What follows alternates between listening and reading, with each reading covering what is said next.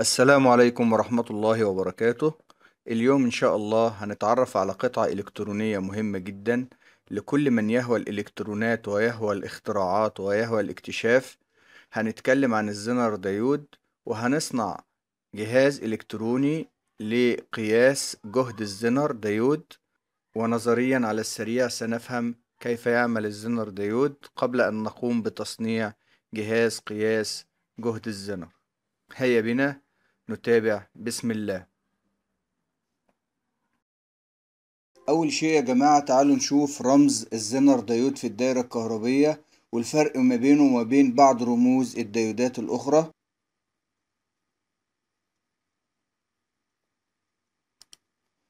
ده الديود السيليكون العادي. ده ال Schottky diode. أما ال Zener diode موضوع درسنا النهاردة ده الرمز بتاعه. لاحظ الكاثود بتاعه شكله في خطين مايلين بالشكل ده. كل قطعة ديود من اللي أمامك لها استخدامات معينة ولها شرح آخر برضو مش موضوع حلقتنا. في ناس أفضل مني بصراحة شارحين تلك القطع. فتعالى دلوقتي نتكلم عن الفرق ما بين الديود العادي وال Zener diode. إحنا عارفين إن الديود العادي بيسمح بمرور التيار في اتجاه واحد. ده ال silicon diode. أما ال Zener diode فبيسمح بمرور التيار في كلا الاتجاهين. هنا ممكن يحصل ارتباك وحيرة عند البعض كيف يمرر التيار في اتجاهين ومن المعلوم أن جميع الديود يمرر التيار في اتجاه واحد. تلك الخاصية في ال Zener diode هيكون لها تطبيقات مفيدة جدا هنعرفها بعدين إن شاء الله وهنشرحها بالتفصيل. خليك معايا واحدة واحدة وإن شاء الله هتفهم كيف يعمل ال Zener diode ويمرر التيار في اتجاهين. المنحنى ده مهم جدا عشان تعرف آلية عمل ال Zener diode. تعالى هناخد النصف الأيمن من المنحنى اللي بيكون لونه أحمر طالع لفوق اللي هو في الاتجاه ال forward bias يعني التغذية الأمامية. فبجد إن حتى يبدأ مرور التيار في الزنر لابد من إن هو ياخد ضريبة مقدارها سبعة من عشرة فولت في حالة إن يكون الديود مصنوع من السيليكون وبياخد ضريبة مقدارها تلاتة من عشرة فولت في حالة إن الديود يكون مصنوع من الجرمانيوم وبعد ذلك يمرر التيار. أما إذا مر التيار في الاتجاه العكسي اللي هو ال reverse كل diode Zener بيصنع بطريقة معينة بحيث إن يحصل فيه انهيار في الجهد عند جهد معين. يعني مثلا في Zener diode بيحصل انهيار الجهد فيه اللي هو VZ أو ال V breakdown عند اتنين فولت. في ديود آخر بيحصل فيه انهيار في الجهد عند تلاتة وتلاتة من عشرة فولت. آخر عند اتناشر فولت خمستاشر فولت سبعة وعشرين فولت خمسين فولت مية فولت. كل diode zener بيصنع بطريقة معينة بحيث إن ال breakdown volt بتاعه هو بيكون مسجل عليه بكود معين واحيانا بيكون الكود مش واضح متعرفش تستدل عليه. فهنا في شرحنا إن شاء الله هنتعلم مع بعض ثلاث دوائر كهربية ممكن عن طريقها تعرف قيمة ال zener diode وتتأكد من قيمته بالضبط. حتى لو كان ما مكتوب عليه أي رمز. ممكن بالجهاز اللي هنعمله إن شاء الله تعرف قيمة ال zener diode ال zener diode زي ما أنت شايف في الصورة اللي أمامك مكتوب عليه عشرة فولت يعني في حالة التوصيل الأمامي كما نرى هو يمرر خمسة فولت. ال zener diode زي الزنر العادي في حالة التوصيل الأمامي يسمح بمرور التيار في اتجاه واحد. بمعنى إن أنا لو وصلت توصيل أمامي في تلك الحالة سيمرر التيار. كما سنرى. أما إذا عكسنا اتجاه الزنر ديود كما بالشكل ففي تلك الحالة لن يمر تيار طالما جهد البطارية أو جهد المصدر أقل من الجهد بتاع الزنر لأن الخمسة فولت بتاع الجهد التغذية أقل من العشرة فولت فبالتالي لن يحدث breakdown أو انهيار في جهد الزنر في حالة التوصيل العكسي.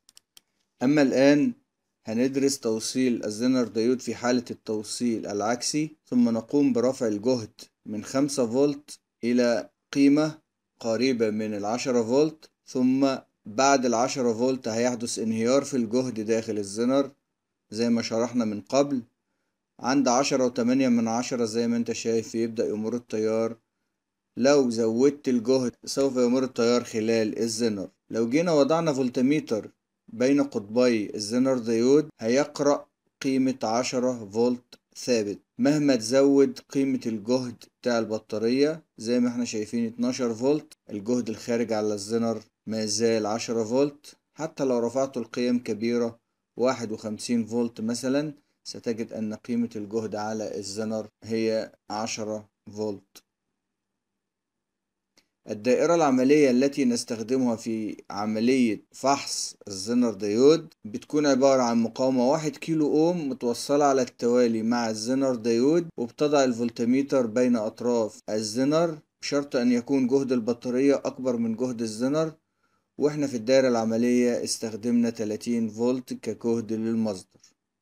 بعد ما عرفنا الطريقة الأولى لقياس جهد الزنر باستخدام مقاومة على التوالي مقدارها واحد كيلو. هنشوف دلوقتي مع بعض دايرة كهربية تانية ممكن تنفيذها لقياس جهد الزنر مكثف ألف مايكرو خمسين فولت. وفي عندك regulator سبعة تمانية اتناشر.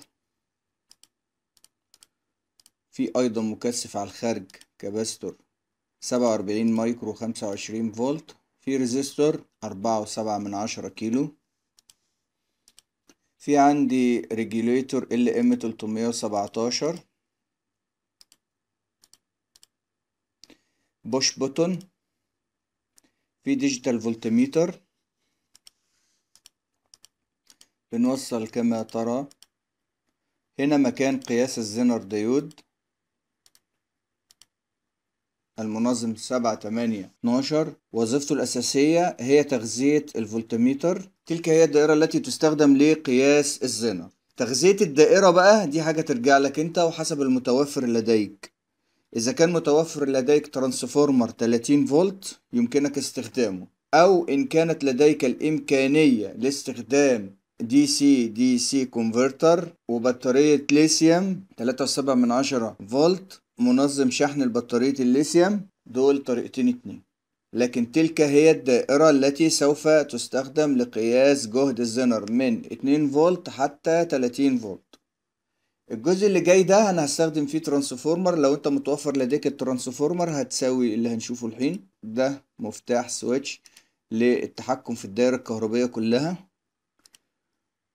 وهنا ال transformer وعندك هنا دايرة التوحيد ال bridge rectifier تلك هي دائرة كاملة والإخراج الفني بتاعك بقى تضعها في علبة حسب ما يتراءى لك تلك هي الدائرة التي يمكن أن نستخدمها في قياس ال zener diode. هنا باستخدام transformer. وتكون دايرة ثابتة تضع أي زنر تريد معرفة جهده بالضبط سوف تعطيك القراءة ومع اللحام السريع وتوصيل مكونات الدائرة باللحام المباشر لاختبار الدائرة قبل تجميعها. زي ما إحنا شايفين إحنا استخدمنا سبعة وعشرين فولت. لاحظ قراءة الأفوميتر ولاحظ قراءة ال digital voltmeter. وأيضا مع الزنر 12 فولت لاحظ قراءة الفولتمترات تلاتة وتلاتة من عشرة فولت.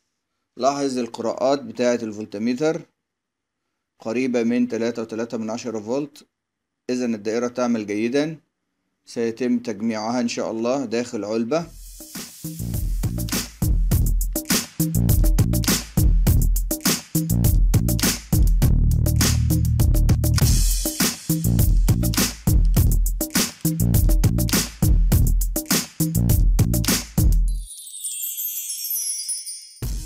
هذا الجزء من الدائرة هو نفس الجزء في الدائرة الثانية بالضبط. ولكن تغذية الدايرة الكهربية يعني فيها إضافة أفضل من الترانسفورمر. إن أنا استخدمت بطارية تلاتة وسبعة من عشرة فولت مع شاحن البطارية ومن البطارية وصلت DC DC boost converter ورفعت الجهد من تلاتة وسبعة من عشرة إلى تلاتين فولت. هنا هضع ال switch في هذا الموضع.